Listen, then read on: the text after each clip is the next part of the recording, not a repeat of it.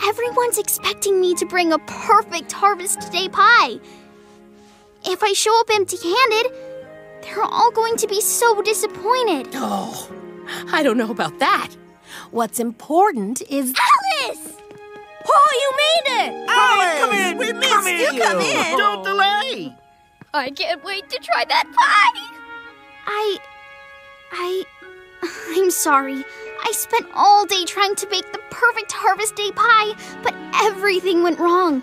Now I don't have any pie, and the holiday is ruined. Wait, don't go.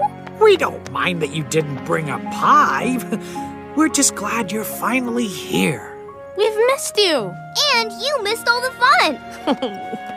I've been trying to explain this to you all day. I wanted you to get here earlier so you could see what Harvest Day is really about. Isn't it about having a big celebration with all the food we harvest? Sure, that's part of it, but more importantly, it's about the people we celebrate with. The dinner's just a reason to get us all together. But it's the getting together that really matters. We do love your pies, Alice, but we love you even more. Plus, look at all of these pies everyone else brought. Buttery biscuits. Look at that! All of your pies, Alice. Oh, you have got to try the super crumbly one. Mmm, it's perfect. You're right.